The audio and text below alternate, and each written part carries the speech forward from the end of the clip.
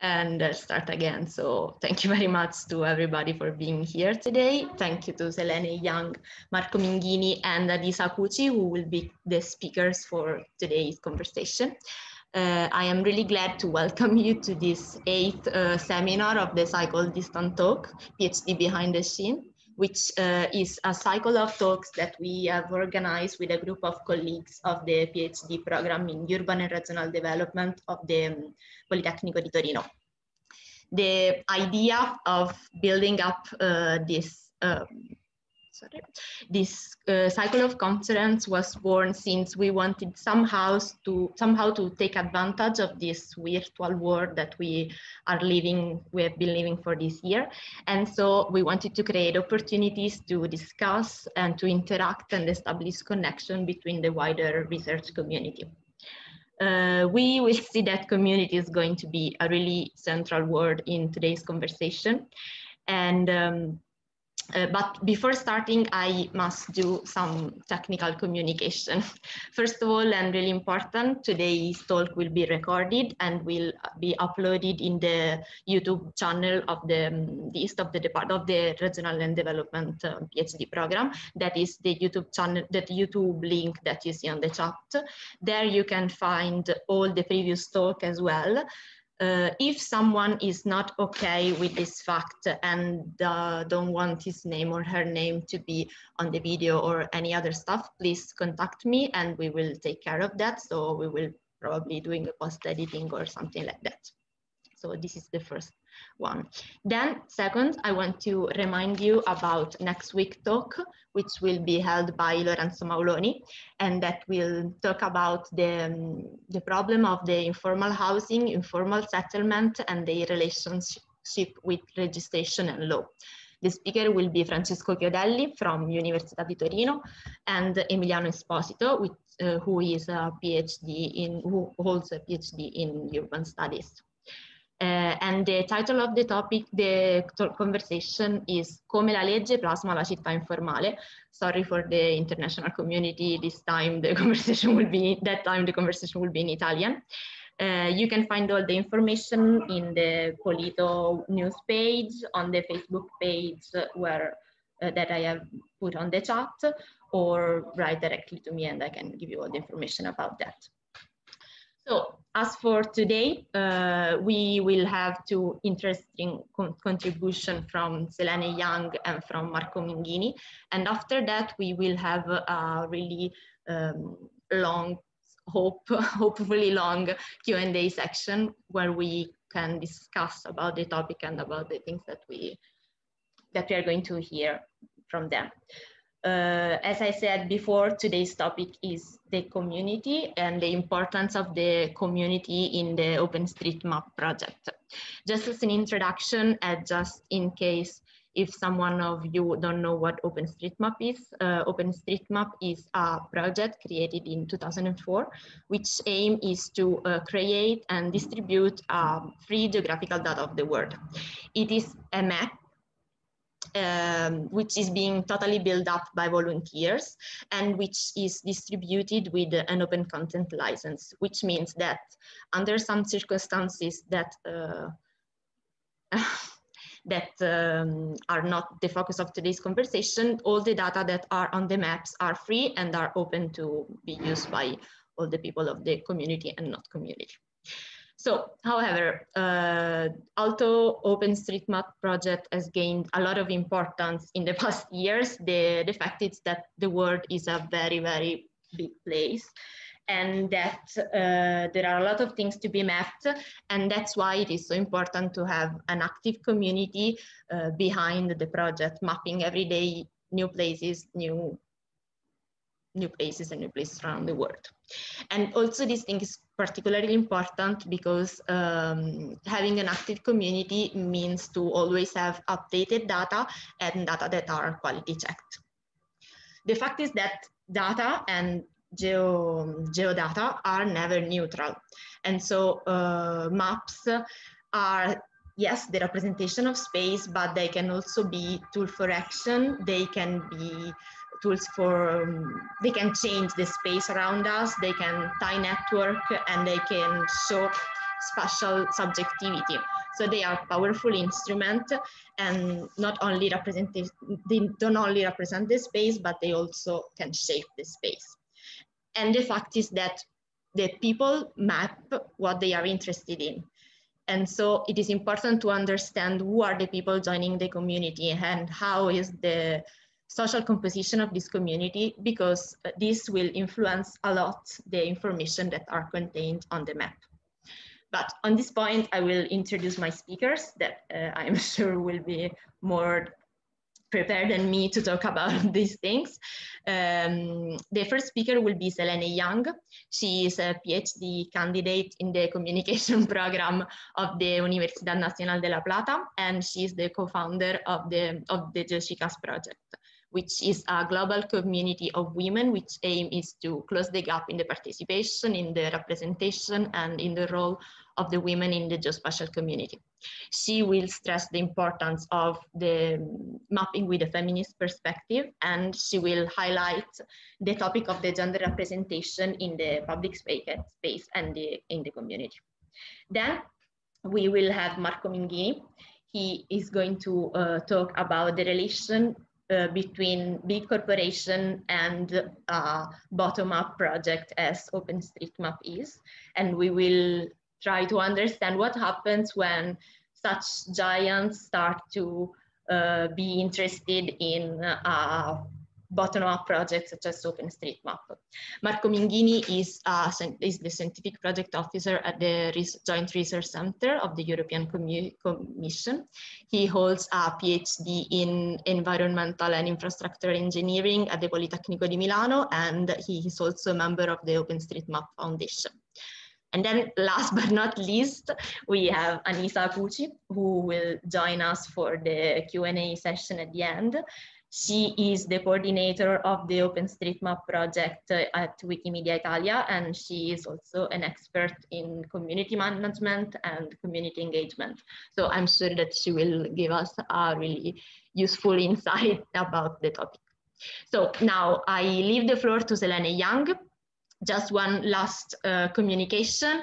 Selene, unfortunately, is not able to remain with us for the whole um, duration of the talk. So we will have a short Q&A session after her presentation. So everyone is interested in making questions to her, please be ready and uh, because she has to leave. so Selene, when you want, you can go. Thank you so much for the introduction and thank you everyone for being here and wanting to listen to our experiences. As Allegra said, I'm Cele, I'm Selene Yang. I'm based in Nicaragua. Um, I'm a co-founder of the initiative from OpenStreetMap and actually uh, from the community of OSGeo for FOSS4G of GeoChicas. And I'm gonna start presenting real quick. Give me a second. Here we go. Do you all see my, oh, I think you all see also my my tabs, right? Well, doesn't matter. I usually hide the Booksmart tab, but this today is like it's really early in the morning. So thank Sorry. you so much. what time is it there? Um, it's 9 a.m., but oh, my day started sorry, like 7. it's my pleasure. I'm pretty buried. Um, but thank you all for being here. So I'm Salim. I'm also a global DEI specialist at the Wikimedia Foundation. So I'm not only an open street mapper, but I'm also um, part of the Wikipedia community. That's why I said about OpenStreetMap being like the Wikipedia of maps. So a little bit about GeoChicas is that we're an initiative that started off as an Spanish speaking only from Latin American women working group for OpenStreetMap. And we are right now around 300 women from, I think, 30, 32 different countries. Um, two years ago, we launched also the, um, the GeoChicas initiative in English. So you can see the map here on where we are. We used to have a open group on Telegram, or all of our communications go through Telegram and our Twitter um, profile, but we had to close the access, like the public access to the Telegram group due to some insecurity bridges, I'd say, from the community. Some people, men basically, um, started to like kind of spy on us and start uh, print screening our communications and then start to share them publicly.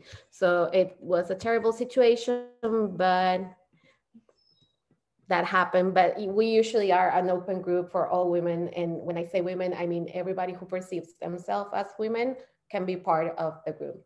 So what we started off doing is that we started asking ourselves what was the role of women, the participation of women, what was the role of women in the community, what was the amount of participation of women in the community of OpenStreetMap, and also the representation of women in decision-making spaces of the community.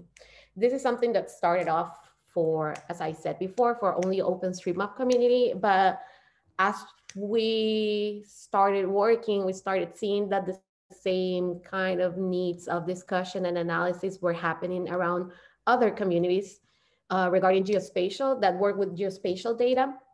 So from OpenStreetMap, we went out to a broader community, which is uh, the OSGeo community. And we also bridge, because we understand that we're not alone in this digital ecosystem. And we understand that the same questions that we're asking ourselves about this, the role, participation, and representation of women, is the same kind of questions that other women are asking themselves in other communities. So we bridge our work with other other groups of women, like for example, R-Ladies for the our like for the R project.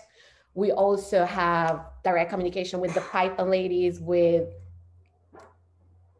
I think the other one is Rails but I can't remember the name of them. But the, th- the thing is that we understand that we're not alone in this, and that since this is an ecosystem, what happens to us directly influences what happens in other communities because we're all in the same, like in the same dimension of digital, uh, like of digital necessities, if you may. So what we do is that we try to understand the production of geospatial data with the feminist perspective. The feminist perspective that we think about the production of this kind of data and the way in which we understand the relations of space and how they're gender relations is that, first of all, since we are a community of people who are creating this data and it's not coming from like on a vertical, from a vertical perspective of the creation of this data, is that um, feminists like a feminist perspective on doing this is inherently collaborative.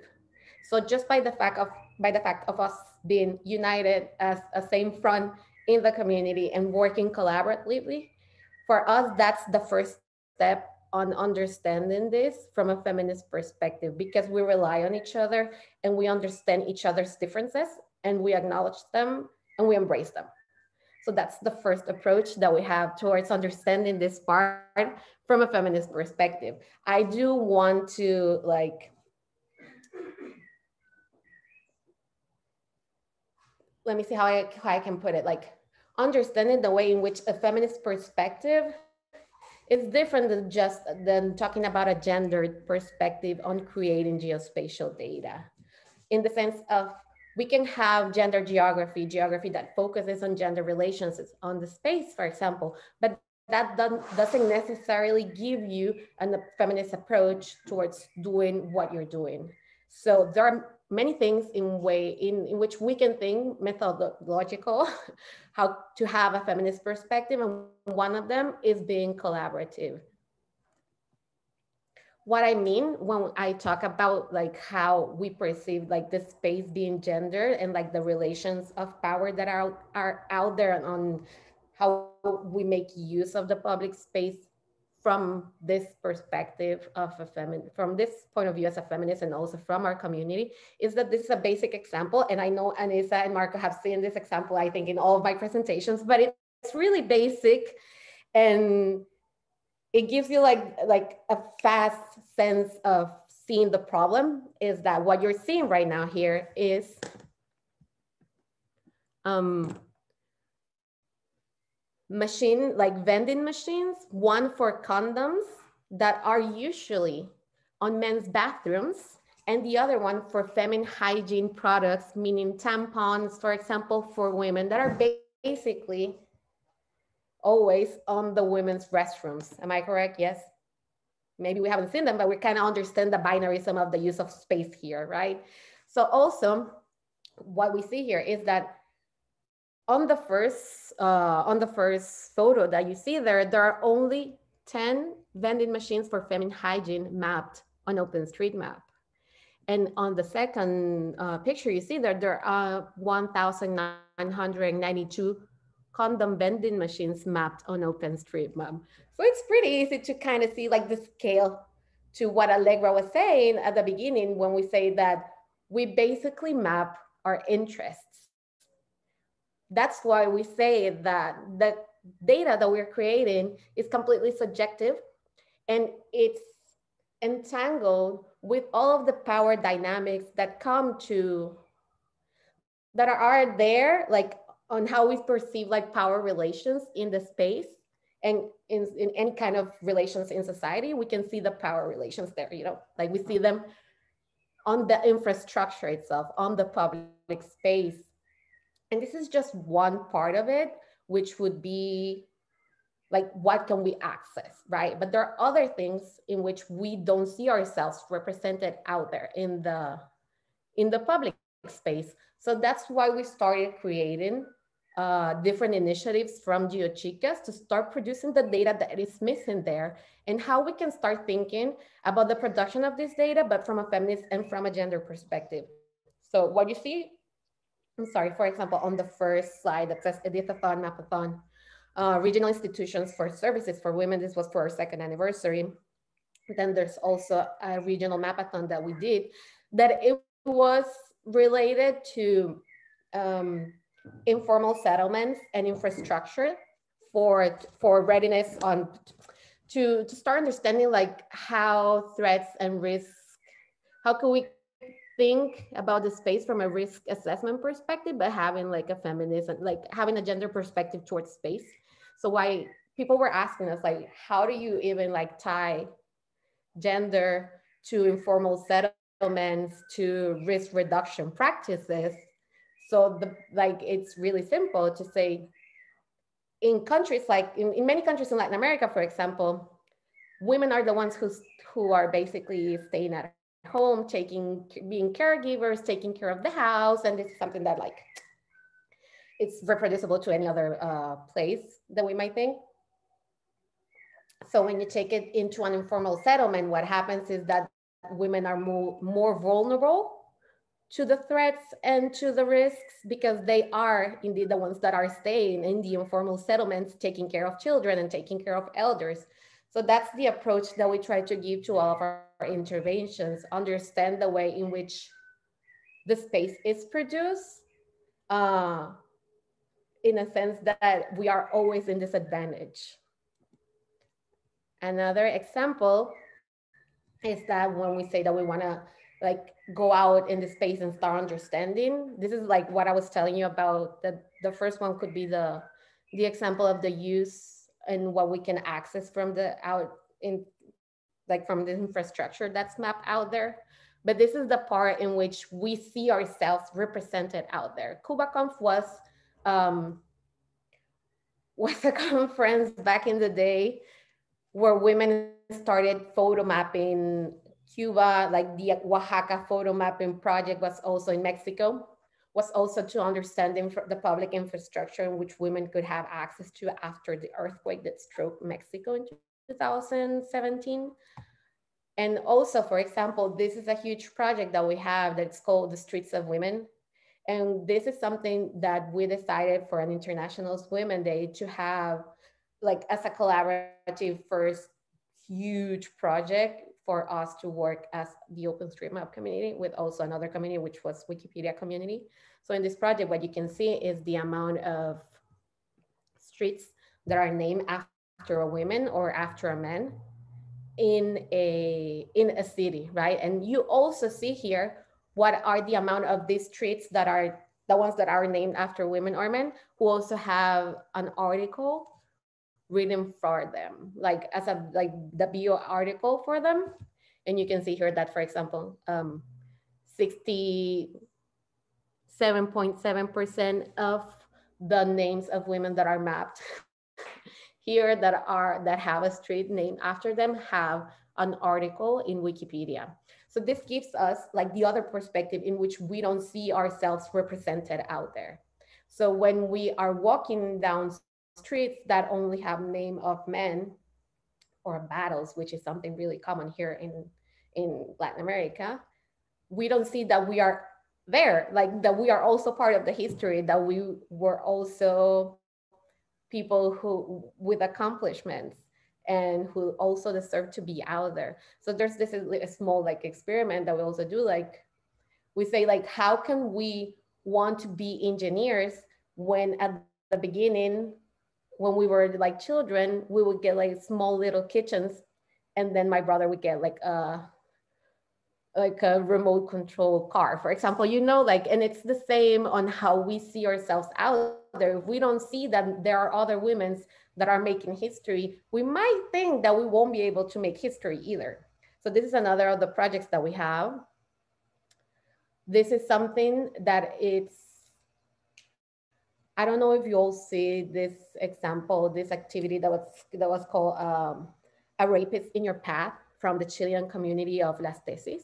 It was like uh, this huge thing that happened as a performance to start to protest against the governments saying that the governments are the ones who are raping us and like the institutions are the one raping us. So this was a performance that was reproduced in i think 500 different uh, cities and countries i if any of you it's interest please do look for it The rape is in your path performance and it's super strong. So what we did here is that we started mapping that so we can give visibility to a problematic that is not necessarily geographical per se, but that could be easily understood by having a map of it, by representing the amount of places in which this was reproduced. So this was another collaboration we had with the international feminists, you know, like the international socialists, like the organization. Well, there is a one that's feminist. and this was our collaboration with them. We also have here, well, I'm almost done because I know we're um, are almost at time, but these are two different um, set of quotes that I always use to understand the fact that mapping is not just putting geospatial data out there. Mapping are practices and that those practices, um, the data that we're creating comes from us, from our own perspective and from our own personal experiences and lived experiences that we're putting out there. And oh, just a quick, this is something that we just launched with the Latin American Initiative for Open Data. And it's a small research that I produced that is ethical feminist for geospatial data and it encompasses like different experiences of what people understand as ethics on geospatial data and how can we give it a feminist perspective to those practices. Currently it's been translated collaboratively uh, out there. It's on a github page and i can share it with you all if you're interested. But what we talk is how can we challenge those power relations that we see out there, not only in the space, but that we are the ones producing those, producing and reproducing those power relations and those power dynamics from what we're doing. And thank you so much. I know this was fast and I'm sorry that I won't be able to stay for the rest, for the rest of the Q&A, but I'm having like some complicated situations with my family, but I'm here for the next 10 minutes if you all want to ask me anything. Don't worry, Selene, and thank you. Thank you very much for your interesting presentation. Uh, Sorry if I so, went... What? Sorry if I went too fast. No, don't worry, don't worry. It was super interesting and you gave us a lot of things to look out and a lot of names of projects. So really, thank you very much. Uh, I would start with the questions. So if someone wants to make a question to Selene, please speak up. You can either write on the chat or just open up the microphone and speak. So I'll give you some seconds, otherwise I will start and break the ice and then you can, you can enter. Okay. I think I'll go first, so I'll start. Uh, it is quite technical. Uh, I mean, OpenStreetMap has a um, a, um, a system of tags and uh, a, a, data system for mapping things.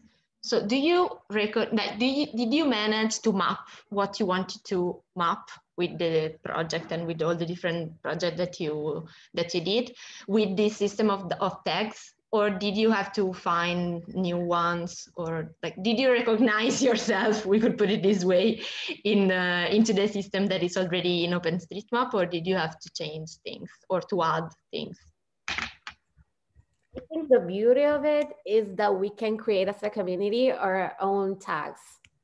Okay. And there was, yeah, there was also an initiative that it's tagging in tagging in support of women and girls that you can see in the OpenStreetMap wiki. And there are a set of recommendations in which we can add more tags to the to the entire tag ecosystem that we have in OpenStreetMap that could actually speak to the needs of women that we need to see in the map. Does that make sense?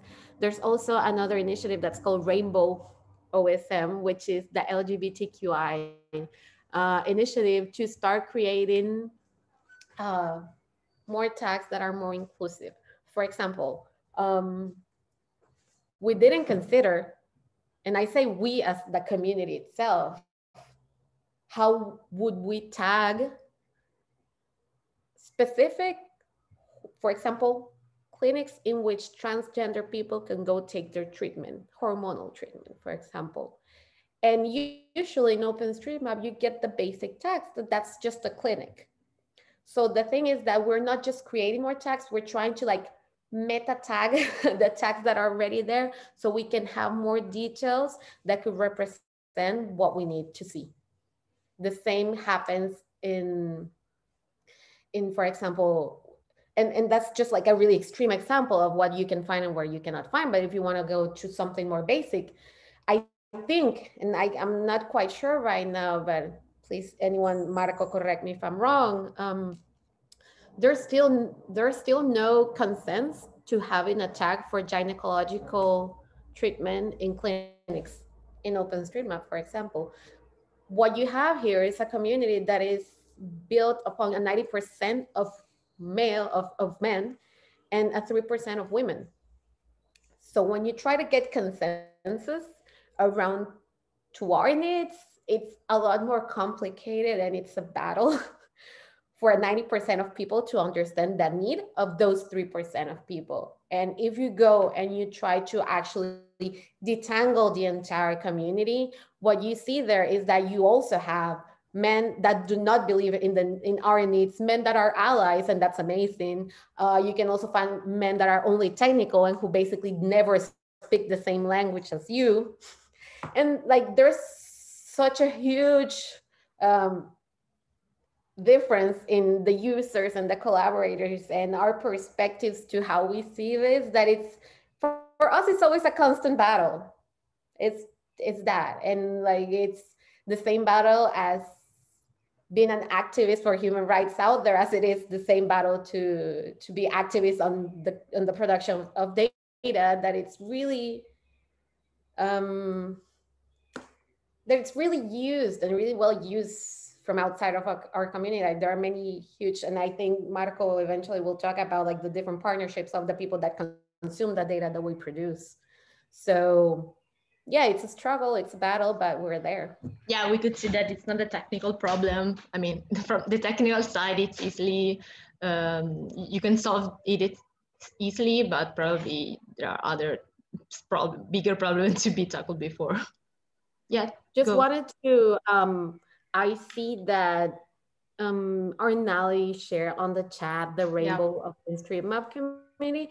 I th that's a small safe group for LGBTQ people who are part of the open stream OpenStreetMap community. So it's open, but not quite open in the sense that we are trying right. to the right we're trying to build a safe space for people who are from the community for all of us, you know. So like from the LGBTQI community. Yeah, that's the And thank you very much to Arnali who is uh, sharing a lot of interesting links and things to look up. So thank you very much. Okay, uh, are there any other questions? Is there somebody who wants to ask something to,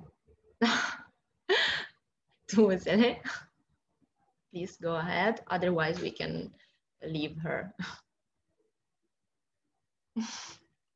I can stay for a couple more minutes if you want. You can like Mark can start if he wants, and I'll can see the chat, and then I'll just say my goodbyes. So thank you for listening to me.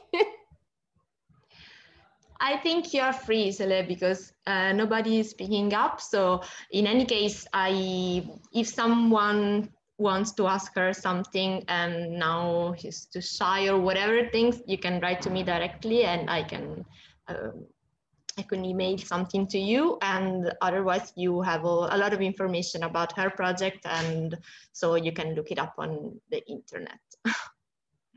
so thank you very much for joining us. Thank you very much for your presentation. It was really interesting and were a lot of interesting projects and have a nice day since it's morning in, in the other part of the world. Thank you. Okay, I think we can move to Marco. Marco, are you there? Yes, cool. here. So thank you to okay, you again. Let me go go. Let me try to share my screen. Yeah. And uh, please confirm that you can see. We see everything. PowerPoint in full screen now. Yep, sure. We see everything. Okay, great. So first of all, hi everyone. Thanks a lot, Allegra, for putting this up. A pleasure for me to, to be here. I've seen uh, uh, quite some familiar names uh, in, uh, in the audience, so I take the chance to say hi to all the people I already know and happy to see you here, but also hi to the new faces. As, as you will see, as you will hear in my presentation, OpenStreetMap is also a community, is mainly a community. So we are all here for the very fact that we are a community. So, uh, and uh, thanks Selene for the brilliant uh, presentation is also preparing in a way, paving the way for, for my talk, because I will say some things that are directly related uh, to what you have already heard, but then I will move to uh, exploring the role uh, or the potential role uh, of corporations uh, within the OpenStreetMap ecosystem. Um, maybe just before starting, a few words about me for those of you who have never had the chance or that I have never had the chance to, to, to meet in person or virtually, given the uh, current circumstances. So I, I work, uh, as it was said, at the, at the European Commission, at the Joint Research Center, which is basically the research center supporting the anticipation, the evaluation, the assessment of the policies uh, of the European Commission. I'm based in Italy, uh, in Ispra, in the northwest uh, of Italy not so far from Politecnico di Torino, who is host, that is hosting this event, uh, but uh, more related to OpenStreetMap, I'm a long-standing contributor since 2018. I'm an active member of the Italian community of OpenStreetMap. I'm a member of the foundation and also in particular of the working group uh, responsible for organizing the annual uh, State of the Map conference. You will hear more on these later. I was, uh, well, I, I am, I was at that time the co-founder of PoliMappers, uh, that is the Students Association from Politecnico di Milano, because I worked at Politecnico. I also studied at Politecnico di Milano. And uh, uh well, quite some years ago, I, I would say five, six or six probably years ago, we founded this uh, PoliMappers Association, which is uh, a, a, member of the Youth Mappers Association. Many of you might be familiar with that, with that as well. Um, I'm also co-chairing the academic track of the State of the Map Conference since 2018. I'm also voting member of the Humanitarian OpenStreetMap team, HOT.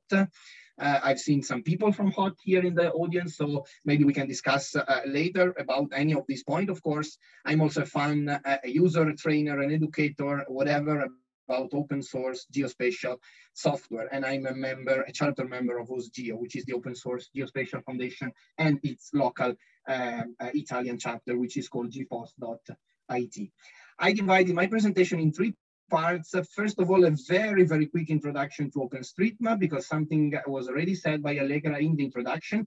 Then I will uh, mm, show and say something about uh, who maps what, uh, who, where do people map, what do people map in order to anticipate the third and last part that is about uh, the role of the corporations and corporate editing uh, in OpenStreetMap. So very, very quickly, OpenStreetMap is uh, what uh, can be defined as the most popular VGI project, where VGI stands for Volunteer Geographic Information, was started by Steve Coast in 2004. What is important to remember is that OpenStreetMap is not the map that we see at openstreetmap.org, but is the database that is behind the map. So it's a database of points, lines, and polygons. This is for the people who are not maybe too familiar with the, with the project.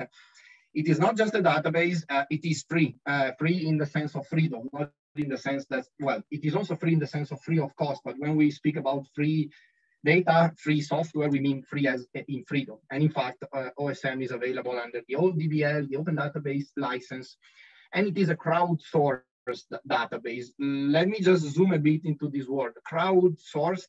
So crowdsourcing means uh, out, so it's the action of outsourcing something, some task, some action to the crowd. Who is the crowd? Then we will see. And well, you can already get an idea of who is the crowd. Okay, um, well, literature says that OpenStreetMap has become the largest, but also the most various, the most complete and also the most up-to-date geospatial database um, in the world. Uh, it is also known as the Wikipedia of the maps because of this crowdsourcing nature.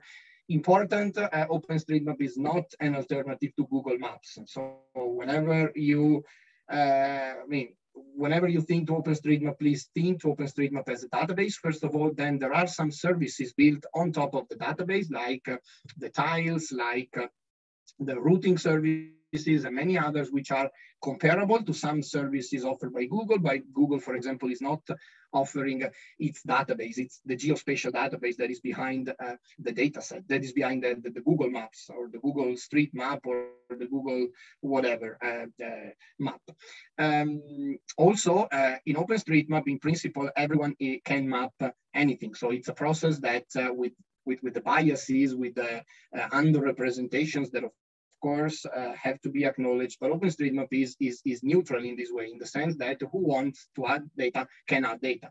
For Google, please keep in mind, Google decides what to have on its map. Google decides what is in the map and what is out of the map. We are not here to explore such differences, but for example, if you go to places in developing countries or in some specific places, you will see an empty Google map. Not because there is no data in reality, but because Google is not interested to have data uh, uh, in, in those areas. Um, in other cases, Google, for example, introduces data, introduces errors, mistakes in the data on purpose. Uh, why? Well, for different reasons. But uh, the, the, idea is that it's a map uh, done by a company. The company decides what is on the map. Uh, in a way, OpenStreetMap, again, has biases, has uh, issues, uh, also as, uh, but is a transparent, is an open, is a, is, a, is a collaborative process. Everyone can map as soon as you map the data, as soon, as soon as you add something, the data is there, is visible, is in the database community. So uh, again, this is for mostly for those of you who are less familiar with the project, but I think it's a nice introduction just to uh, answer some basic questions like uh, how many people um, uh, contribute to uh, uh, the project. Currently, we have more than 7.5 million users who created an OpenStreetMap account, which is mandatory to start contributing, but then only 1.6 million have done at least one edit, one change to the map. So many people actually register but never contribute. And you can see on the left-hand side of the slide uh, the, uh, the, the, the, cumulative curve of the registered users, and on the right-hand side, the cumulative curve of the active contributors. So more or less, there are about uh, um, uh 50,000 active contributors per month and about 120 million edits per month, just to give you some numbers. Uh, who is behind the OpenStreetMap project? Uh, the, the answer is the OpenStreetMap Foundation, or one of the answers is the OpenStreetMap Foundation, because this is a, a not-for-profit organization. Uh, it's based in the UK. It is important to know what the foundation does. It supports but it does not control the OpenStreetMap project. What does it mean? It supports the project, first of all, legally. So it's, uh, it acts as a legal uh, entity and custodian uh, for the project. It maintains the infrastructure. This is the most important thing the foundation does. So basically the, the, the, the servers that are storing the data, that are serving the data, the tiles, these are, um, let's say, the, the, foundation is basically paying uh, to, uh, to maintain them. And it also promotes fundraising to support the project. So basically, when you donate to the foundation, uh, uh, you are basically supporting the OpenStreetMap uh, project. So uh, the, the conference that is held annually, that is called State of the Map, as mentioned before, is organized by the foundation and clearly the money collected for the conference goes to the foundation to maintain to keep the OpenStreetMap project alive. This is important because the sustainability is key for, for, for this project, but for any uh, project.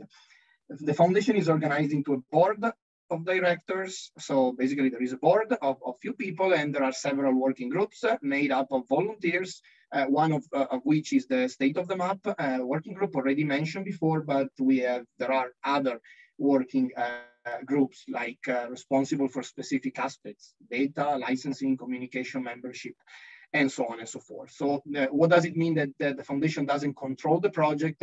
it means that, for example, the foundation does not decide uh, on which tags uh, have to be used and which tags have not to be used. Okay, this is up to the community because at the end, the community, and we will come to this in the next slide, is actually uh, leading, uh, driving the project.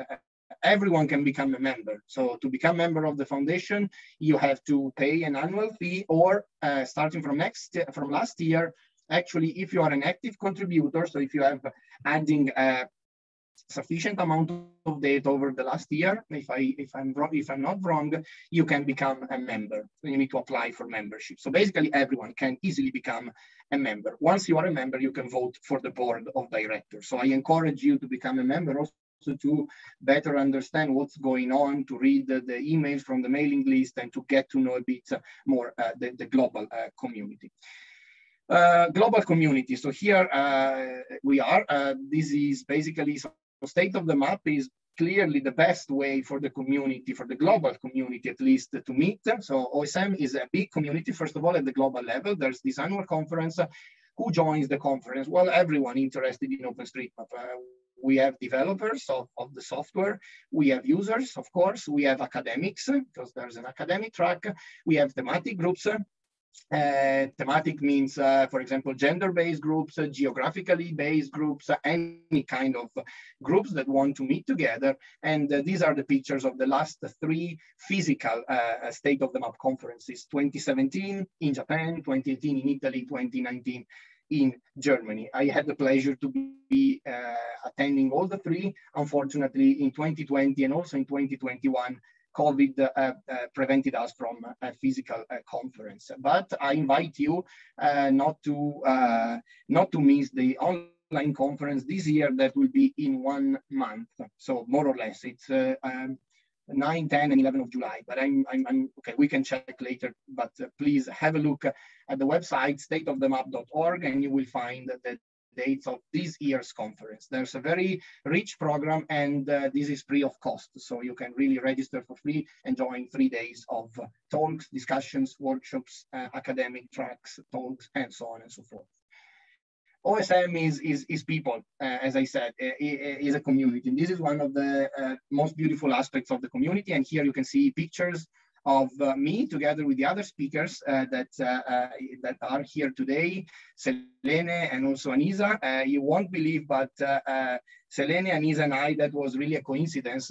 we are the speakers today, but we also met all together once in a single place that was in Japan for the 2017 conference in uh, in uh, uh, in Japan. Yeah, and so we we spent clearly not just the conference, but we spent quite some nice time together there, having fun. And this is also how a community grows on the left hand side, you can see basically the, the, the, group picture of all the, uh, the, scholars. So the people who got, uh, were lucky enough, I would say, to get a scholarship to attend the conference. And I can just tell you that we still have a WhatsApp group that we use for uh, communication around OpenStreetMap, just to also tell you how much a community counts. And the fact that we are here now having this webinar, I think means that we are building a community. Community is not just conferences, because typically there are local communities, national communities, thematic communities, and there are many, many different ways to be involved. Uh, mailing lists uh, on the national, local level, mapathons, um, mapping parties, so physical events to map. So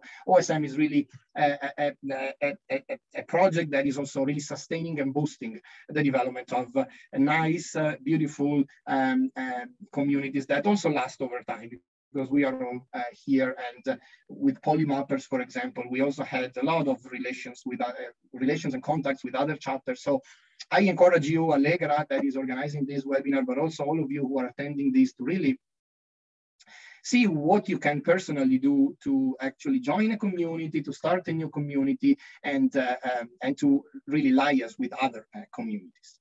So uh, some more, uh, uh, let's say, uh, concrete uh, questions about the communities and contributions. So where do users uh, contribute most to OpenStreetMap? Of course, it's a crowdsourcing project uh, on a voluntary basis, more or less voluntary, we will see later.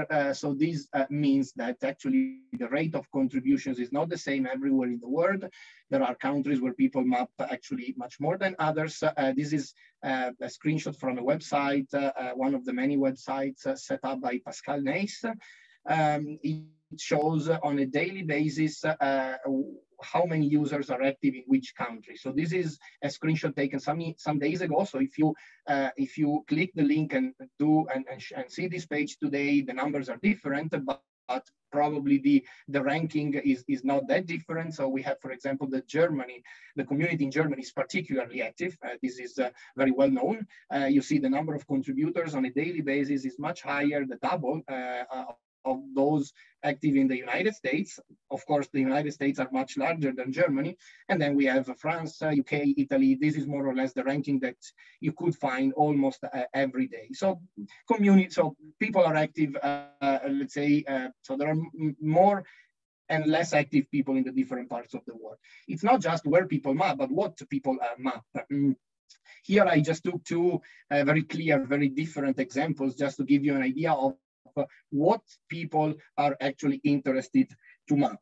Uh, Selene before said we always map our interests. So we map what we are interested in. Uh, so two clear examples here. On the left-hand side, this is the Cathedral of Milan, uh, very popular, worldwide popular. So for those of you who uh, were in Milan for State of the Map 2018, you have seen it. this is really popular, famous, uh, well visited. So it's a very popular and interesting uh, object to map. And in fact, uh, here we can see we have 66, uh, so the, the, current version of the object in OpenStreetMap is the number 66. And a total of 47 different contributors have mapped, have contributed to add tags to this object. On the right-hand side, we have a tree. So this is a tree, it's still in Milan. So it's really some hundred meters away from the cathedral, but still this tree, this history was only mapped once, was added by a user and never updated. So this is also to say that, of course, we also map what is more interesting.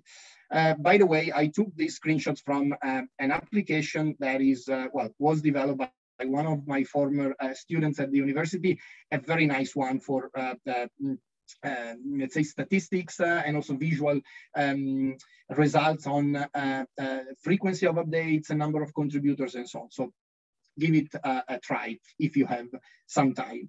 Who contribute to OpenStreetMap? That's also important. Uh, OpenStreetMap is aligned with uh, basically other online um, collaborative projects such as Wikipedia and uh, is aligned to the so-called Nielsen's rule, uh, 99.1 rule, which basically means 90% uh, of people usually uh, only consume content, 9% uh, change or updates, only updates content content, 1% basically does the job. So 1% of people actually add the real content. Um, another way to say this is that basically 10% um, of the people produce 90% of the data. Uh, and this is also true in OpenStreetMap. So uh, from the graph uh, below, but also from the, uh, you, you, can you can very clearly see these, although this is updated in 2019, but the idea is, is, very, is very clear. Of course, there are uh, underrepresentations in OpenStreetMap. But this has been already well said by Selene, so I will not repeat that there are biases and there are underrepresentations in OpenStreetMap, of course. And this uh, very naturally leads to uh, corporate editors in OpenStreetMap. And let me just start again from the same uh, question, who is contributing and why people are contributing to OpenStreetMap? There are a number of users or organizations that are finding, of course, interesting and useful for their specific uh, interest to contribute to OpenStreetMap. Uh, not just corporations, uh, but let's, for example, start from humanitarian organizations. Uh, OpenStreetMap is a key tool, platform, database for them also to create data. Uh, because clearly it's uh, it's uh, usually uh, the most up-to-date or sometimes even the only available data source in some uh, parts of the world. it's a very nice platform to create data that is up-to-date and so on and so forth. So humanitarian organizations are also looking at OpenStreetMap uh, with uh, interest, but also governments and more and more because of uh, the fact that they could, uh, in principle, use OpenStreetMap, and sometimes they are actually doing that to update, to complement their official uh, data, because collecting data uh, collecting authoritative data is costly, is expensive, it, it's, a, it's very time consuming. So OpenStreetMap might represent a good alternative.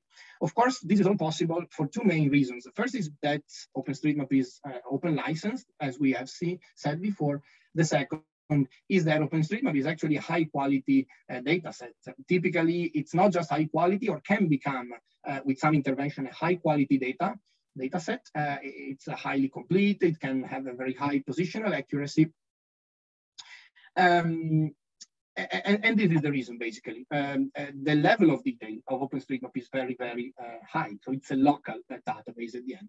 For the very same reason, also corporations uh, started, or now some, some years ago, several years ago, in some cases, to actually uh, not just use OpenStreetMap, but because of the fact they are using OpenStreetMap for their interest, which is of course a commercial interest, so to make money, uh, they are also contributing to OpenStreetMap. They are paying people to actually map OpenStreetMap. So there are people, the paid editors or uh, corporate editors that basically do um, OSM mapping just because this is their job. And here you have 10 logos of companies that are more or less the main, let's say the most uh, popular ones that um, have, um, uh, they employ paid uh, editors. And you can even, even recognize some of the the, the, the really the, the, big names here. So we have the big five here, with the exception of Google. So we have Facebook, Apple, Amazon, um, Bing, which is Microsoft, and, and so on and so forth. Let's, I will show you some example here. So uh, just some examples of map-based products which are uh, used by those big corporations. Uh, I'm, I hope you can recognize some of them. So this one is from um, Snapchat, which is developed and provided by Mapbox, so the map.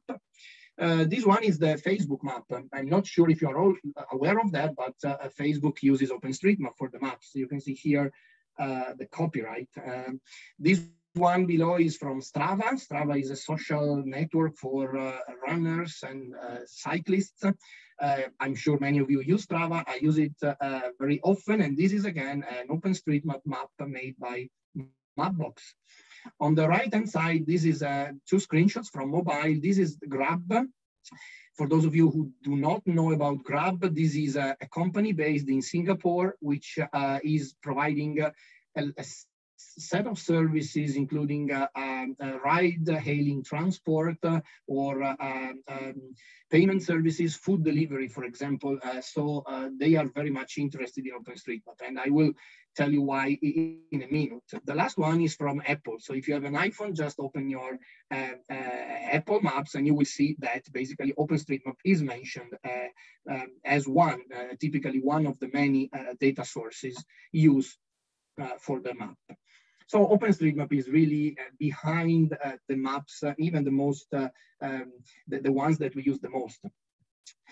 Uh, so, okay, so from one side, uh, these big corporations contribute data to OpenStreetMap. They use OpenStreetMap to make money. In, in, in some cases, a lot of money. Uh, what do they uh, contribute back uh, to OpenStreetMap? First of all, the data okay? Uh, because they are mapping, so they are adding data to OpenStreetMap. Most of the times they are also contributed, uh, contributing back uh, economically. So they typically support, they are corporate members of the OSM Foundation. You can see on the left-hand side the list of the current gold corporate members of the foundation, and you can recognize some of the companies mentioned before, but also they sponsor the OpenStreetMap uh, State of the Map conferences. This is a screenshot of the current state of sponsors uh, of the, uh, the 2021 uh, conference. Again, you can recognize some of uh, the logos. Um, the question uh, you might ask is, okay, how can uh, we track, how can we identify and quantify the contributions uh, in terms of mapping provided by those big corporations.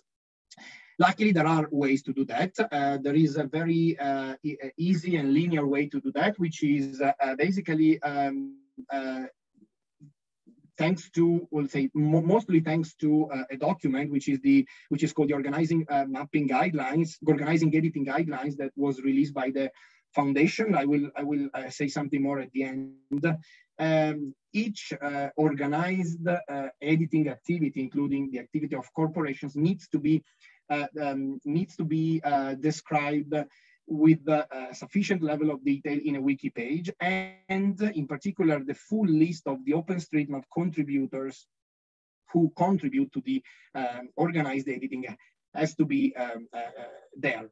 So for example, here you have the just the, the, the, the, initial part of the wiki page for Amazon. If you go to this uh, page, you scroll down, then you have the very, very, very long list of all the OpenStreetMap contributors mapping for Amazon.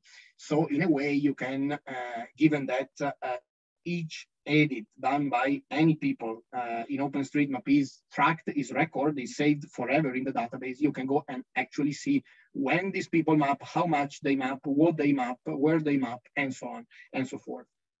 There are actually some other, let's say, more modern ways or other ways to actually track the contributions. For example, uh, if you run some uh, machine learning or some uh, very uh, uh, simple clustering uh, algorithm, you can easily uh, isolate the activity of these corporate contributions because they typically uh, corporate editors because they typically work uh, they typically follow a Monday to Friday uh, working pattern uh, and even a nine to 9 a.m. to 5 p.m. pattern. So it's quite easy. It has become quite easy, or at least quite, let's say, possible.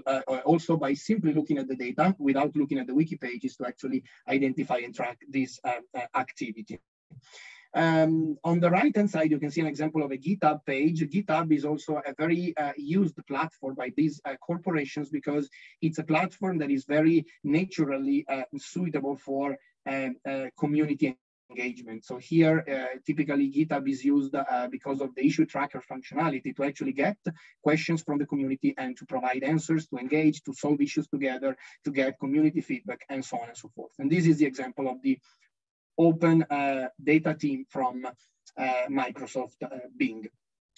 So what do they map uh, mainly? Um, well, many things, of course, but uh, if I had to choose one type of object, uh, they mainly map roads. And what is the main reason? The main reason is that most of the commercial products that are based on OpenStreetMap, not all, but most of them rely on a navigable, on a routable road network think, for example, to Grab or to Uber or to Amazon uh, that are actually using it for delivering uh, things uh, like Amazon, or that is uh, drivers are delivering things to people, Grab uh, for transportation, Uber for the very same reason. So they really need uh, to perform routing. And uh, if you are, if you have studied some GIS, you know that in order to correctly uh, perform routing and navigation, you need a, a topologically correct and routable road network. This is the main reason why a lot of corporations are um, um, uh, focusing actually on roads. The table below actually provides some numbers. This is taken from a paper, and I would like to thank uh, the authors of the paper, in particular Jennings, Anderson, and co-authors uh, for this very, very nice paper that I really encourage you to read. This is the first, uh, was the first analysis of uh, the um, impact of corporate editors uh, uh, on OpenStreetMap. It was published in 2019, so it's still very recent, I would say, and it reflects what should be, uh, what is the current situation uh, even now. Um, another um, comment here is that uh, um, many, many times the contributions of these corporate editors are not direct are not in the form of a direct mapping, so maybe uh, drawing things on top of satellite imagery, but it is also the review, the check, the validation of the data, or better, of the results returned from automated algorithm, like uh, uh, deep uh, neural networks uh, algorithm that automatically extract things from satellite imagery, like uh, uh, roads or buildings. For example, just to give you an example, Facebook has mapped basically all the roads in Thailand um, exactly with this procedure. So first they ran an algorithm just to basically extract in a fully automated way the candidate roads and then operators uh, validated, reviewed, and then uploaded uh, the data in OpenStreetMap. So this is happening uh, basically most uh, of the times. It's not just a, a matter of uh, data, it's also a matter of software. So many uh, of the software tools that are used by the whole community have actually are influenced by companies. For example, the ID editor that I think all of you know was initially developed by uh, Mapbox or by Mapbox uh, uh, uh employees.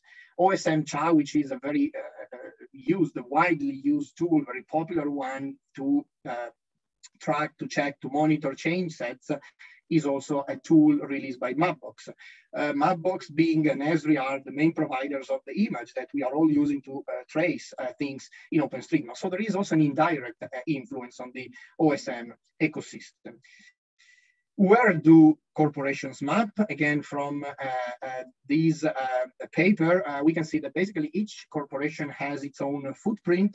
Some of them are uh, actually mapping everywhere in the world. This is, again, because they have an interest to map everywhere because they are selling products uh, everywhere, or at least with, with, uh, with the maps of any region in the world. Some others, like for example, Grab, as mentioned before, have an interest in specific areas, like in the case of Grab, the Southeast Asia. Uh, in the case of Telenav, this is mostly the US. In the case of Microsoft, well, mostly US and Australia and so on. But globally, so if we sum up all those contributions, uh, the footprint is really global. So the in this case, the, uh, the, the, the more the color is towards the white and the higher the contribution. So you can see that basically the whole world is uh, covered uh, by uh, uh, data mapped or edited from the corporations. And the last uh, image I extracted from the paper, because this is very meaningful in my opinion, is, is this one. On the left hand side, you can see the uh, profiles, we can call them the mapping profiles of the corporations. And on the right hand side, you can see the mapping profiles of the standard, let's say the non-corporate editors. So once again, we can see that uh, uh, the uh, profiles are very much uh, biased um, um, to roads. So they are uh, they are creating roads, but they are also editing roads. That's that's very important. Let's go to Grab, for example, here. Um, so what is important? So why editing and not uh, creating new roads? Well, typically roads, uh, you know, roads are one of the very first things that are added to the OpenStreetMap map. So uh, typically roads are already there, at least in many parts of the world. But many of the times, as I said before, the roads are there, but the road network uh, is not navigable, or maybe it is, but it's not really representing the reality. So what many companies are doing is actually to improve the road network. For example, again, statistics, uh, Grab has mapped 95% uh, of all the turn restrictions in Singapore to give you an idea. So to assist uh, drivers uh, again. So they most of the time they mm, edit uh, things, and you can see that the attention that they pay to POIs, points of interest, amenities, buildings also is not that that high. While the standard contributor is typically mapping uh, other features like amenities, points of interest, buildings, uh, but not really new roads or um, uh, existing roads. And let me close with this slide that tries to summarize the whole picture and uh, uh, uh and uh, ask some uh, open actually a question. So first of all, we can for sure say that the corporate editors have be, have become something that is stable. So is there, is in the is part of the OSM ecosystem.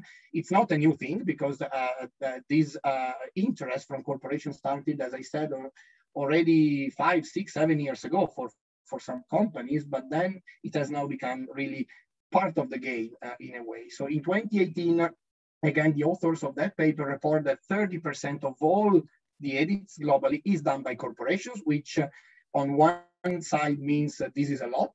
On the other side, this uh, means, uh, okay, it's a lot, but it's not yet the, the, the majority, of course. So uh, it's not the dominant uh, portion. the largest impact, as we said, is on the road network. The question could be what will happen next? So what will happen, for example, once the road network will be completely mapped? Will they stop mapping at all? Will they move their interest to something else? Open question. Um, then another question is, is this really VGI? VGI meant as really volunteer geographic information. Then clearly VGI is now used for everything, even uh, uh, data that is not really volunteer voluntarily contributed. But uh, let's let's let's maybe try to to say something more. So uh, it's clear that here we are not uh, uh looking at uh, uh, say standard contributors. The motivation for contributing is, let's say, also and primarily economic. Of course, those editors might also map because they like it, because they enjoy it, but also because they are paid for that.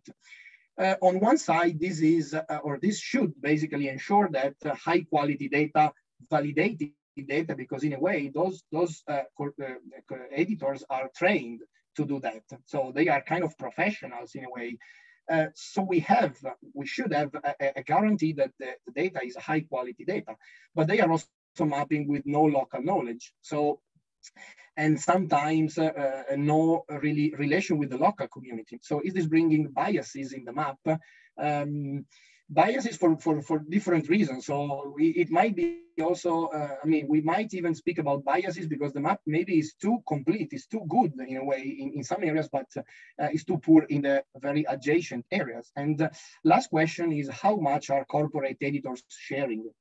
So they are clearly contributing back data to OpenStreetMap, but uh, maybe is there anything uh, or how much that they are not sharing back with the community. So there are actually uh, uh, corporations like Amazon, also Facebook, they are sharing, uh, uh, uh, let's say, their own version of OpenStreetMap. So they are sharing, in principle, a, a, version of the database that is more high quality because they run automated checks and so on. But how much is there that they do not share? First step, and let me close with uh, uh, good news. First step is that in 2018, there was this document that was issued by the OpenStreetMap Foundation that is called Organized Editing Guidelines. This was a very, very important document that was issued in order to make sure that the mapping activity of those corporations is run in a transparent and in a meaningful way. Uh, so this is a set of guidelines, as, as the title says, that basically try to um, explain how those activities uh, should be should happen. First of all, this is not only for corporations, this is for any kind of organized mapping. So even for humanitarian project, of course, as, as, as soon as they are, let's say, uh, really, they, they put together many people for a considerable amount of time. So not really for a mapping party when five, five or 10 people just meet together. This is for any organized editing activity. Uh, I encourage you to click the links uh, here and have a look.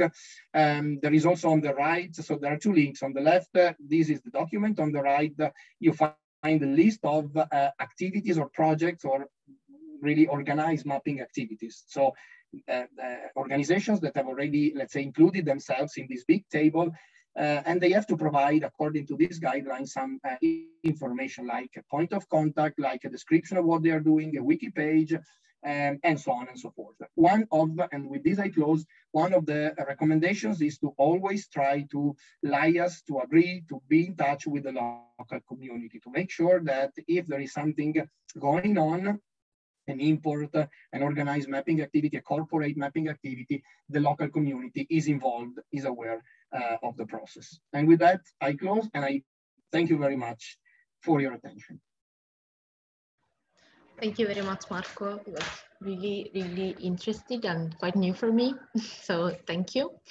Uh, okay, so we have finished with the presentation and we can start uh, with the Q&A session. If there is somebody who wants to start to break the ice, just please uh, open up your mic and, and speak. Otherwise, uh, I will start as before. Or you can even write on the chat if you don't want to talk and I can just say, ask Mark what you want to ask. But since people are shy, maybe I will start. If, if and ah, oh, sure, sure, sure. Go, go, go. Hello, everyone. Hello, Marco. Hi. Long time no see. Uh, thank you for the great presentation. So uh, I was aware of the Anderson paper before, and one thing uh, that uh, was related to what you said about uh, are those efforts really volunteer is um, are the motives now voluntarism? Basically so if for example i'm a good volunteer i'm uh, contributing to the pro project uh, all the time may i be expecting that some of these companies will contact me and hire me to continue mapping for them? So um, is it really now, are we really now speaking about the voluntarism if, if they're paying for it? That's the first question. And the second question is, um, do you think that the OSM project would benefit in the future if it becomes decentralized in a way that um, uh, not really decentralized, uh, but more uh, distributed that servers are everywhere. I'm aware that companies are hosting the data to support different activities, but I mean the core servers um, redundant in, in different parts of the world. The, the database is growing uh, constantly. It is huge. You know, if, if you want to work with the with the data sets, you will you will need very good equipment to, to work even on, on a city level data data set. So maybe something like that, which includes um, faculty, uh, faculties, uh, institutes, uh, I don't know, different institutions that would consider hosting web servers for parts of the world or the entire world. Maybe that would, it, it was just occurring to me lately that it is growing so much that I'm not sure whether uh, one single foundation in one single place can can hold everything. Thank you.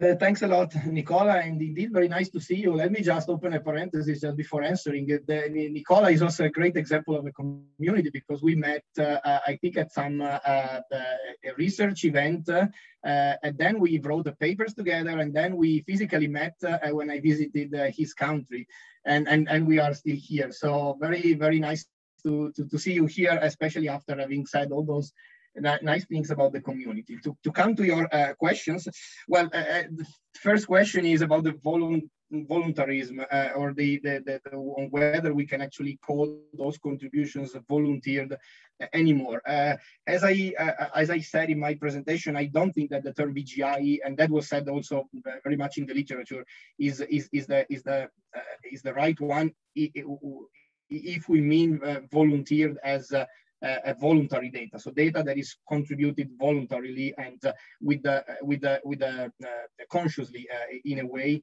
Uh, clearly, we are here. If we speak about contributions, we are experiencing something new. This is why I always prefer to speak about crowdsourcing or to define OSM as a crowdsourced geospatial database because really crowdsourcing the, the, the crowd, I think gives um, a, a, much better idea of uh, who can map. So basically everyone uh, uh, uh very, very much linked to his or her own interest. And again, in the crowd, there are contributors like us that maybe we just want to add our uh, home to OpenStreetMap or uh, to map our uh, neighborhood, but there are also people who actually do that for completely different reasons, even for humanitarian purposes, which is a very different, uh, but uh, also uh, another uh, uh, um, uh, important purpose as well. So, I mean, maybe we should not use the term volunteer, or we should use it, but uh, with the awareness that this actually includes uh, a lot of different, uh, uh, first of all, people, interests, uh, organizations, um, and, and everything that actually um, comes and derives from, from these. Um, uh, in the good and in the bad. And uh, with this, I also link to the to the second question that. Uh, well, it's, it's, it's, so this is a difficult question, or it's not even a question. No, it's so what will be the future of OpenStreetMap? I think if everyone uh, here in the call could say something about uh, how they would see the future of OpenStreetMap and what should change or what should not change, uh, we would probably hear, uh, I'm not sure how many we are, but we, we would probably hear uh, several different uh, opinions. Um, so on one side, the, the freedom of the project is exactly, I mean, is, is, a, is an intrinsic part of the project itself. So freedom in terms of who can contribute, where, uh, how, what can be contributed. Um, uh, edits in OpenStreetMap are not checked. They, they, they are part of the database. Uh, um, what should change? So should, for example, each edit be controlled? Uh, maybe yes, maybe no. I, I don't think so because the, it's part of the project. Uh, who should host the infrastructure? That's a good uh, question. I mean, the foundation is currently hosting the infrastructure and I think they are doing a great job in doing that. And it's very important, as I said, that uh, the project remains sustainable over the long, in the long time. So not in the, in the next couple of years, but it's very important that the project becomes and stays uh, sustainable. Um, it's clearly important, and I'm, I'm working uh, uh, I'm working for the European Commission, so uh, we are uh, experiencing also cases where governments or national mapping agencies are looking with a lot of interest to OpenStreetMap to actually um, really uh, use the dataset in their everyday mapping processes or to update, as I said, to complement their uh, their data sets and their processes. Um, is that a good choice for them? Probably it, it is a sustainable one also for them, uh, as I said. So, you know, it's, it's always difficult to take conclusions on OpenStreetMap on what it should become, what it should not become. What I can say is that uh, it's an open project. Uh, everyone can contribute, but also everyone can benefit from the data uh, in the good or in the bad. I mean, with the good uh, intentions or with bad intentions, with the economical uh, reasons and motivations and interest or with uh, very, uh, let's say, noble uh, interests like the humanitarian ones, where uh, I think many of us uh, have been involved in the past. So um, I hope I gave my two cents to the discussion more than really answering and providing a solution. And I see Arnalie raised her hand. yes, please, Arnalie, go ahead. Hello. Yeah. Yeah, thank, thank you. Uh, thank you, Marco. That that that's actually related to my question as well. But yeah, just also sharing maybe my perspective or that you can also challenge. Yeah, I think VGI, I've seen it most in academic papers. And so I really like the term using crowdsource rather than VGI. And I think uh, for a platform like OpenStreetMap, a free and open uh, source map of the world. Uh, it's not just the motivation. It's just it, it's not only like if you uh, if you are motivated for a good or bad intention or or or uh, contributing uh, to volunteer or to or is paying. It was uh, it is also a matter of means, especially if you want to increase local knowledge. I, I came from a, um, a low income country, the Philippines. And so uh, this, I, am glad that you also shared on your presentation that uh, corporate mapping or paid editing um, provides econ, uh, uh give a benefit uh, in economical terms because yeah i think in a individual perspective having me having a motivation to contribute in openstreetmap having the local knowledge but i don't have the means i don't have the tools or yeah i don't have the time because i'm work i'm also working i'm a mother and yeah i think yeah i think um something like paid mapping or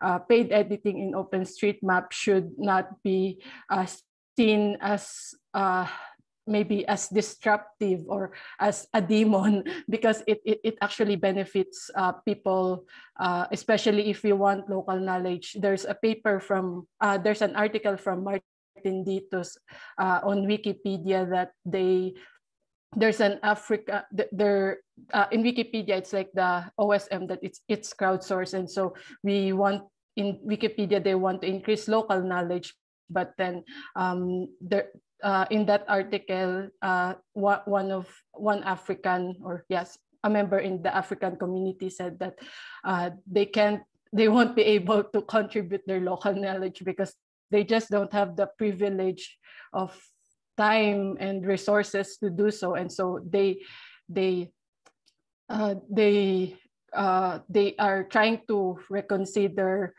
uh, paying editors so that we can make uh, Wikipedia uh, more local knowledge. I think this is also like an ongoing, um, ongoing conversation as well with uh, with the OpenStreetMap being a crowdsource. And I think for the corporate mappers or for the co corporate editing, I think it will be a good uh, a good practice that uh, if they are having like uh, a project on a certain countries is that they hire or yeah they pay editors or pay uh, their staff that who are you know who are uh, local in that area in that country. So that because these people are also um, stewards i believe of their countries and their land. And so yeah they they will care about the map. And, uh, yeah although they are paid uh, i think there will be like an increase in awareness that uh, this is something that you know they can steward since this is their own land. And uh, this and uh, the last one is yeah the the question on colonialism since I know we know that corporate mappers or corporate uh, corporate organizations mostly come from uh, from first world countries. And so yeah i think one of the things to like um, break that uh, colonialism issue is yeah to consult with the community if this is something that is needed uh, or that is beneficial for them and if this is something that they are needed.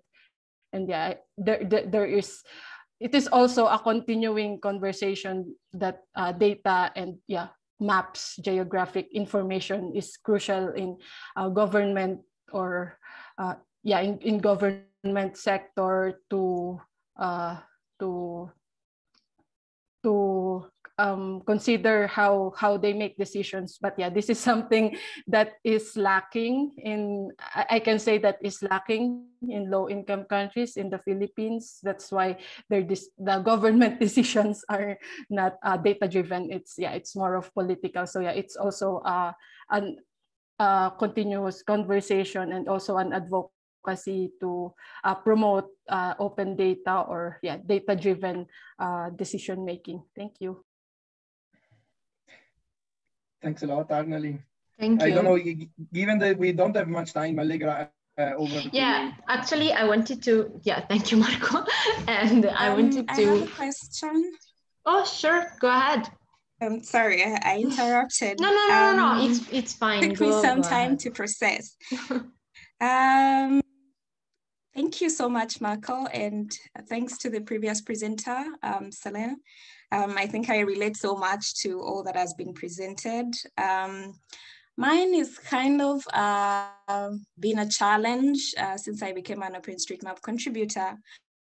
Um, I have passion in making sure that there is um, equitable service delivery and um, development at large. where I come from, my low income country, Uganda.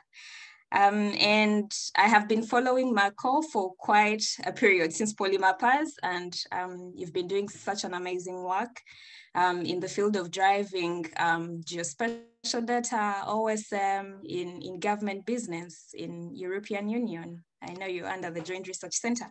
So um, here for me is just for you to share your experience. I mean, um, on the African continent, um, or in most of the messages that are driven there, is that um, we need to close the gap. We need to do capacity building. The information is available, the data is available and it can be developed, but we need to provide capacity. And I think we've done a lot of this over the years, decades and decades capacity is being built, but I mean, there is not like um, that energy or um, forward movement to actually adopt um, um, some of these tools and some of these technologies and techniques into government business.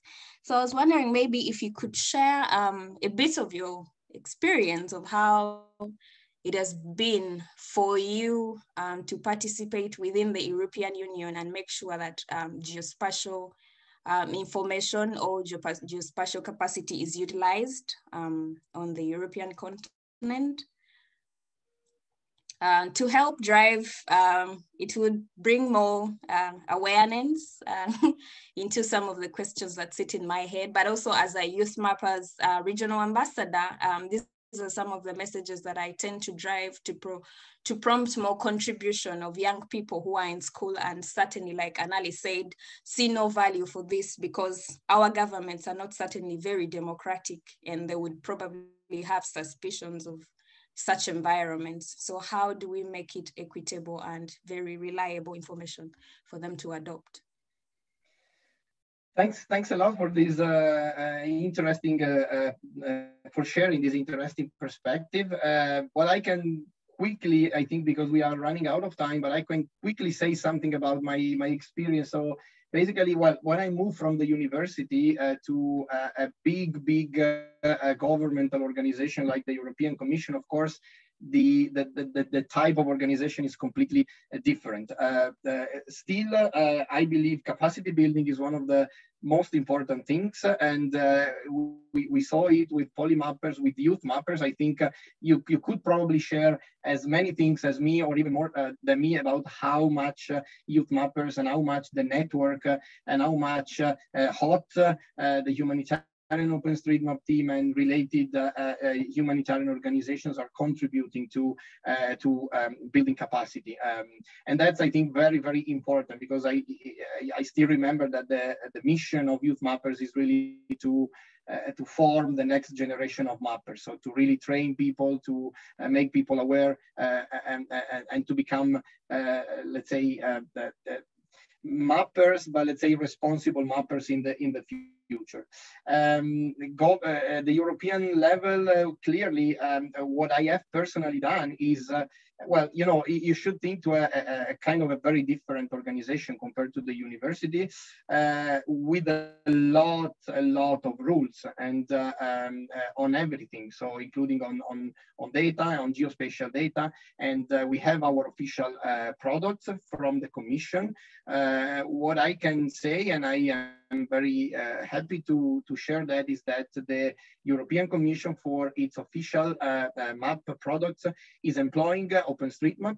We are using our, let's say, own version of OpenStreetMap. So you might find some base maps uh, um, um, online. It's basically OpenStreetMap, but it's, uh, let's say, changed or it's it might be slightly different in some parts of the world because it reflects the European uh, Commission position, for example, on the disputed areas. So when there are disputed borders, for example, between two countries, in the map, you can see what is the position of the European Commission. So this is basically a use, the main use of the data uh, that is done by the OpenStreetMap data that is done by the Commission. I'm personally, uh, I have personally, uh, as you can uh, guess, um, gave uh, given a lot of uh, training on OpenStreetMap because uh, many people are simply not aware that that, that it exists, that, uh, that, everyone can contribute, and that this can become actually a good source of data for uh, for everyone.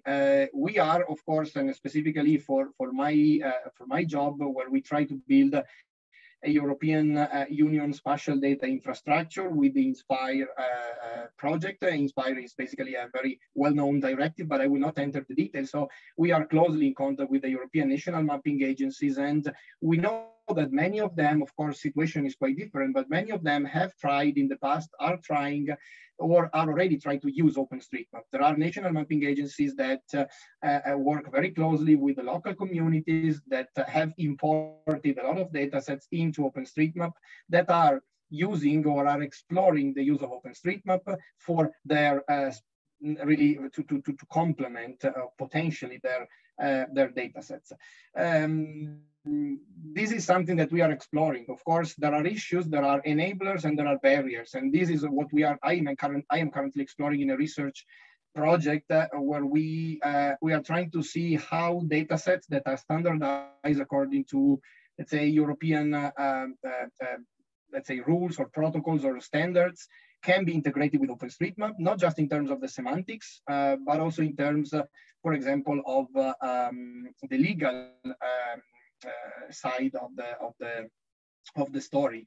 And uh, for example, the OpenStreetMap license often is an obstacle for uh, integration with authoritative datasets. I don't want to enter the the the, the, the, topic of the license and on the compliance and the ease of integration of different licenses, but this is also another topic that uh, might be really investigated in another talk, uh, maybe. So in a nutshell, sorry for being so long, uh, there are opportunities, there is much uh, still to do, um, and I'm, I'm, doing my part as, a, as an OpenStreetMap supporter, as I've uh, always been done in the past, and thanks a lot for your nice words um, on me. Thank you. Thank you, Marco. And thank, okay. Um, thank you, Arnalie, and thank you everybody who had made questions. Actually, I just wanted to ask a really quick question to Anisa, since uh, I know that she is in charge, uh, among other things, um, about on the like community engagement. Is that correct?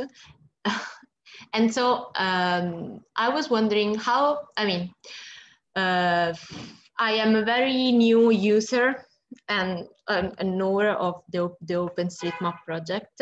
And I have approached to the project because I thought that it could be useful in some way for my university research. I mean, for my PhD research. Is it possible to make like direct is it possible mm, i mean let's imagine that i need some data about about a place in the world I know that there is a community uh, of OpenStreetMap there, and I I see that there are some missing data or that I would need data, data in different ways. Or is it possible somehow to make a direct question to the community to connect to the foundation and directly asking for the uh, provision of that data somehow? Or is it or does it have to be done through the connection with the community and so like just like is there a protocol is it uh, is it allowed by the community or uh, can we can be directly asked things like that so um, the idea is that thank you very much for the question. I'll try to be quick because I know we are running late. yeah, yeah, I don't over. Uh, so the idea is that um, in OpenStreetMap, as we have already said, uh, lots of times now everyone can contribute. And for example, if you'd like to have something on the map, of course, you can totally edit by yourself.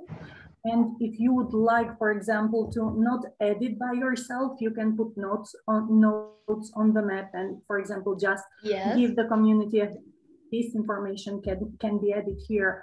There are also ways that you can connect and communicate to the to, to, to, different communities. For example, in Italy, there is a national mailing list. Mailing lists are these public uh, emails where everyone can be subscribed and see everything that goes through. And for example, for Italy, there is a national one, and then there are small regional mailing lists uh, where you can, of course, connect to the community, to the contributors that are active in a specific area.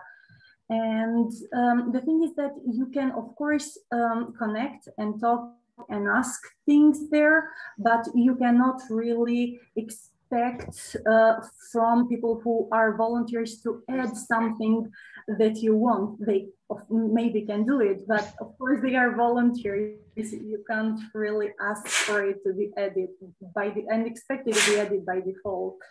Um, and the foundation, um, on the other hand, doesn't really control what's being mapped. So the foundation would be um, contacted in cases of conflicts because some of the working groups, specifically the data working group, would take care of uh, specific conflicts about about um, country borders, uh, for example.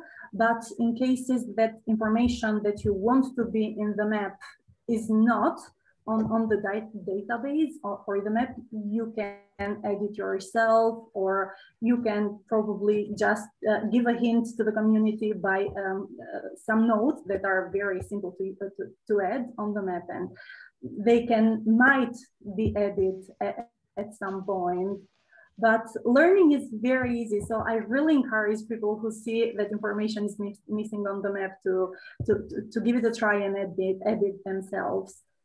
Asking is always permitting, and if you get in contact with the community, it's probably the best way to have access to the and to contribute to the data. Even, I mean, I was thinking about, I was not thinking about Italy. Actually, I was thinking about data other part of the world we who where it may be more difficult to reach the community, but actually what we see is that uh, it is not that difficult and that uh, since it is all based on the community, it's also quite easy to reach them.